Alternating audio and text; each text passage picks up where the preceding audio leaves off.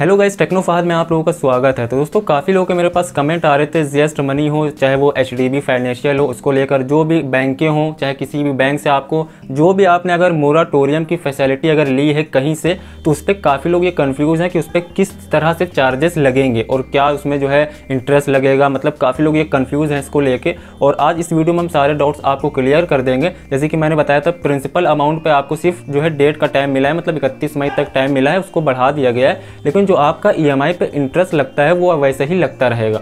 तो अब इसमें कन्फ्यूज़ है काफ़ी लोग कि ये प्रिंसिपल अमाउंट क्या होता है और आपका जो है इंटरेस्ट चार्जेस क्या होते हैं। तो इस वीडियो को आप शुरू से लेकर लास्ट तक देखिएगा तो इस वीडियो में हम सारे डाउट्स आपके क्लियर कर देंगे कि इसमें आपको किस हिसाब से आपके चार्जेस लगेंगे। तो चलिए शुरू करते हैं। दोस्तों, जैसे कि आर ने सभी बैंकों को और जो है सभी फाइनेंशियल कंपनियों को एक सलाह दी थी कि आप अपने कस्टमर से अभी तीन महीने तक मतलब इकतीस मई तक ईएमआई ना लें। जिस माहौल को देखते हुए जो लॉकडाउन चल रहा है, इसमें काम वगैरह हो नहीं रहा था तो इसको देखते हुए लोगों को मतलब राहत थोड़ी मिल जाएगी कि उनको ईएमआई नहीं देनी पड़ेगी इकतीस मई तक।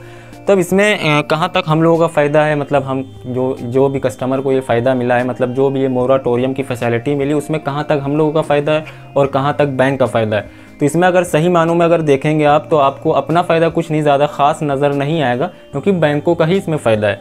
बैंक अगर आपको 31 मई तक के जो है मोराटोरियम की फैसिलिटी दे रही है तो उसमें आपसे इंटरेस्ट रेट आपके ई पे ले रही है तो उसको मतलब वो कहीं से छोड़ नहीं रही है। तो मतलब अगर यूँ देखा जाए, एक तरह से कोई राहत वगैरह नहीं अगर आप यूँ भी अगर ई को जैसे कि आप बाउंसिंग करते हैं लेट करते हैं तो उस पर भी तो चार्जेस लगते हैं।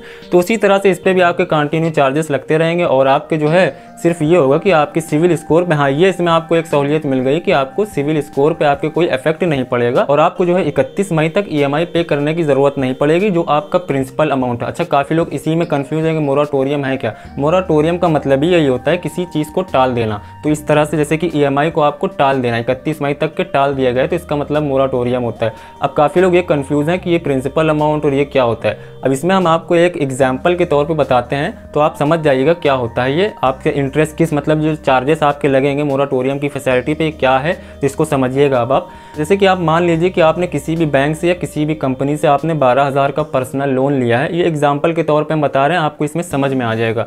तो बारह हज़ार के लोन पर अगर आपको बारह ही महीने की आपको टर्नओवर मिल जाता है मतलब बारह मंथ का टर्नओवर मिल गया बारह हज़ार के लोन पर तो आपकी ई कितनी आएगी? एक हज़ार। ये प्रिंसिपल अमाउंट के हम बता रहे हैं। यहाँ पर इंटरेस्ट अभी नहीं लगाया तो ये आपकी एक हज़ार को अगर आप बारह से मल्टीप्लाई करेंगे तो आपके बारह हज़ार हो जाएँगे। अब यहाँ पे आप मान लिए बारह हज़ार के लोन पे उन्हीं ने तीन हज़ार रुपये आपसे इंटरेस्ट उनकी प्रोसेसिंग फ़ीस सब लगाई है। तो मतलब बारह हज़ार का अगर आप लोन लेते हैं तो उनको वापस रिटर्न हमें करना है ई में। बारह मंथ की ईएमआई में हमें रिटर्न जो करना है वो पंद्रह हज़ार करना है। तो मतलब यहाँ पर तीन हज़ार रुपये आपके इंटरेस्ट और जो प्रोसेसिंग फ़ीस है, ये सब मिला के इनके तीन हज़ार एक्स्ट्रा चार्जेस हो गए। इसी को इंटरेस्ट जैसे कि बोलिए चाहे आप इंटरेस्ट बोल लिए, चाहे कुछ भी बोलिए तो इसी को ही इंटरेस्ट कहते हैं। ये तीन हज़ार को अब ये बारह महीने की जो ईएमआई होगी, उसी पे ये थोड़ा थोड़ा ऐड करेंगे इंटरेस्ट मतलब हर ई पे आपका इंटरेस्ट रहता है। अब ये तीन हज़ार इकट्ठा तो आपसे लेंगे नहीं। ये ईएमआई जो आपकी बारह महीने की बांधती हैं, उसी में ही ये ऐड कर देंगी थोड़ा थोड़ा बारह महीने की ईएमआई पे। तो मतलब एक ईएमआई पे अगर ढाई सौ हम ऐड करेंगे, तभी जो है बारह महीने की ई पे आपके ढाई ढाई ऐड होते रहेंगे। अब अगर आप ढाई को बारह से मल्टीप्लाई करेंगे तो तीन हज़ार हो जाएँगे मतलब। तो मतलब ये हर महीने ई पे ही इंटरेस्ट लेती रहती हैं आपसे थोड़ा थोड़ा तो अब ये मान लिए जो आपका प्रिंसिपल अमाउंट था, वो था एक हज़ार, क्योंकि एक हज़ार को बारह से मल्टीप्लाई करेंगे तो बारह हज़ार का आपने लोन लिया था। तो आपका इंटरेस्ट कितना लगा एक ईएमआई पे? ढाई सौ रुपये तभी तो ये मतलब हो गया बारह सौ पचास रुपये अब आपको देना है, क्योंकि इंटरेस्ट मिला के। यूँ कितने देना थे आपको? एक हज़ार। तो ये ढाई सौ रुपये जो इंटरेस्ट होता है, ये आपका लगता रहेगा। मतलब इसको सोच, समझिए अब आपको, जो मोराटोरियम की फैसिलिटी मिल रही है तो आपकी ई पे जो इंटरेस्ट लग रहा है, एक हज़ार रुपये जो आपकी ईएमआई के हैं, वो आपका प्रिंसिपल अमाउंट है। जो इनका इंटरेस्ट हो गया ढाई सौ रुपये वो आपका जो है लगता रहेगा। जो मोराटोरियम की फैसिलिटी अगर आप लेंगे, जैसे कि जो है आपको मार्च, अप्रैल और मई, ये तीन महीने तक ये फैसिलिटी आपको मिली है। अब जिनका जो है अगर मार्च का महीना चला गया है तो अप्रैल और मई ये दो ही महीने बचे हैं तो ये दो महीने तक आपका जो इंटरेस्ट लगता रहेगा। तो मतलब आपको ये समझना है कि जो आपकी ई जाती है, उस पर जो इंटरेस्ट होता है, हर ई पे सबका थोड़ा थोड़ा इंटरेस्ट क्योंकि ये एडजस्ट कर देते हैं पूरी ई में। जितना का आपका टर्नओवर होता है, जितने मन का, उसी हिसाब से जितनी भी आपका इंटरेस्ट होता है टोटल क्योंकि ये इंटरेस्ट रेट जो अगर हम बताएँगे तो ये हर कस्टमर का अलग अलग होता है। क्योंकि अब आप एक ही कंपनी में अगर आप लोन अप्लाई करेंगे तो अगर आपने अप्लाई किया तो आपका इंटरेस्ट रेट अलग होगा। अगर किसी और ने किया तो उनका अलग होगा। वो आपकी सिविल हिस्ट्री के हिसाब से होता है। तो यहाँ पे हम आपको सीधे सीधे ये बताते हैं कि अगर आपने बारह हज़ार का लोन लिया है तो उस पर तीन हज़ार रुपये आपके इंटरेस्ट है। उस तीन हज़ार के इंटरेस्ट को ये लोग थोड़ा थोड़ा आपकी ई एम आई बारह मंथ की ई एम आई पे एडजस्ट कर देती हैं। अब जैसे कि एक हज़ार रुपये आपकी प्रिंसिपल अमाउंट हो गया, क्योंकि एक हज़ार को बारह से मल्टीप्लाई करेंगे तो बारह ही हज़ार होंगे। वो आपका प्रिंसिपल अमाउंट हो गया। अब जो तीन हज़ार रुपये आपके जो होते हैं, जो इंटरेस्ट रेट होता है, जो इंटरेस्ट इनका होता है तीन हज़ार, उसको ये बारह महीने की ई एम आई पे थोड़ा थोड़ा हिस्सों में बांट देते हैं। जैसे कि एक ई एम आई पे, पहली ई एम आई पे आपके ढाई सौ रुपये लगेंगे। तो ढाई सौ को जब आप बारह मल्टीप्लाई करेंगे तो तीन हज़ार हो जाएँगे। तो ये ढाई सौ रुपये आपके चार्जेस मतलब लगते रहेंगे। सिर्फ़ आपका एक हज़ार जो प्रिंसिपल अमाउंट था, उसकी डेट बढ़ा दी गई है। अब आपको क्लियर हो गया होगा कि क्या ये फंडा है टोटल जिसमें जिसमें मोराटोरियम की आपको ये फैसिलिटी मिलेगी, उसमें इसी तरह से ये वर्क करेगा। अब काफ़ी लोगों के ये कमेंट आ रहे थे एच से या जी मनी से, किसी से भी जो है मोराटोरियम की फैसिलिटी अगर ली है तो उसमें जो है उनका तो नो कॉस्ट था, उनका तो कोई इंटरेस्ट लग ही नहीं रहा था। तो अब उनको क्या करना होगा? उनके कैसे चार्जेस लगेंगे? देखिए, यहाँ पे क्या हुआ है? जी मनी ने तो क्लियर कर दिया था कि हम जो है, अगर आप मोराटोरियम की फैसिलिटी लेंगे, जो आप अगर नो कॉस्ट ई पे कोई भी प्रोडक्ट अगर आपने लिया या आपकी कोई भी ई चल रही है नो कॉस्ट ई तो उसमें होता क्या है? जैसे कि जीएस मनी पे आपको पता ही होगा कि जब नो कॉस्ट ई पे ये लोग काटते पूरा है इंटरेस्ट समय तो आपकी ईएमआई काटते हैं, लेकिन बाद में दो से तीन वर्किंग डेज़ के बाद आपके बैंक अकाउंट में रिफंड कर देते हैं। ये आपका इंटरेस्ट रेट जो है, ये आपका रिफंड कर देते हैं बैंक में। जीएस मनी में हम बता रहे हैं।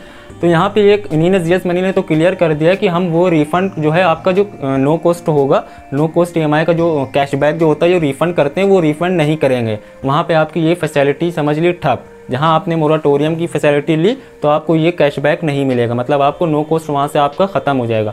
वहीं से फिर आपकी जितनी भी ई आप कटेंगी तो उस पर सब पे चार्जेस लगते रहेंगे। ये इनका एक पूरा क्लियर हो गया अब यहाँ पे एचडीबी ने जो नो कॉस्ट ईएमआई अगर ली है एचडीबी ने किसी भी तरह की अगर उनकी नो कॉस्ट ई चल रही है, कोई कंज्यूमर लोन पर क्योंकि एचडीबी में नो कॉस्ट ई आपको मिल जाती है तो यहाँ पर भी मैं क्लियर कर दूँ, इन्हीं कहीं पर मैंशन नहीं किया है। कि आपसे जो है कितना जो है इंटरेस्ट लगेगा, क्या है इसका। लेकिन ये आप समझ लिए कि इस पर एक मिनिमम चार्जेस लगेंगे। जो नो कॉस्ट ई आपकी होगी, उस पर आपके मिनिमम चार्जेस लगेंगे। जब तक आपकी मोराटोरियम की फैसिलिटी चलती रहेगी, तब तक आपकी मिनिमम चार्जेस इस पर लगेंगे। तो बस इसमें ज़्यादा चार्जेस हालाँकि नो कॉस्ट अगर ईएमआई तो उस पर आपके ज़्यादा चार्जेस नहीं लगेंगे मिनिमम चार्जेस लगेंगे। लेकिन चार्जेस लगेंगे। ये आप ना सोचें कि अगर नो कॉस्ट ईएमआई तो आपको फ्री में मिल जाएगी। तो ये आपको फ्री में कोई सहूलियत नहीं मिलेगी। दोस्तों, अब आप समझ गए होंगे कि सारी बैंकों में सारी कंपनियों में इसी तरह से ये वर्क करेगा और मुझे उम्मीद है आप इस वीडियो को देखने के बाद आपके सारे डाउट्स भी क्लियर हो गए होंगे किस तरह से इंटरेस्ट लगेगा इसमें, किस हिसाब से इनको जो है देना है। अगर आप ये फैसिलिटीज़ लेते हैं तो आप मजबूरी हो तभी ये फैसिलिटी को लिएगा। अगर आप ईएमआई पे कर सकते हैं, उस कंडीशन में हैं आप तो आप इसकी ईएमआई को पे कर देगा। कोई ये ख़ास बहुत राहत भरी कोई न्यूज़ नहीं थी। क्योंकि अगर आप जो है राहत भरी जब होती है, चलो ठीक है कि जो है तीन महीने के लिए आपसे जो है टाल देते, आप बगैर कोई चार्जेस ना लेते, तब ये कोई राहत भरी थी। अब अगर आप इंटरेस्ट ले ही रहे तो कोई राहत भरी इसमें नहीं है तो इसलिए जो है इसको एक राहत भरी नहीं कह सकते, बस ये कह सकते हैं कि जो है मजबूरी को देखते हुए इन्होंने थोड़ा टाइम दे दिया लेकिन आपसे इंटरेस्ट ले रहे हैं। तो दोस्तों, मुझे उम्मीद है आपको इस वीडियो से कुछ हेल्प मिली होगी। अगर हेल्प मिली हो तो इस वीडियो को लाइक करिए शेयर करिए। अगर आप चैनल पर नए हैं तो चैनल को सब्सक्राइब करिए। तो नेक्स्ट वीडियो में फिर मिलते हैं। जब तक के लिए अपना ख्याल रखिए। Good bye take care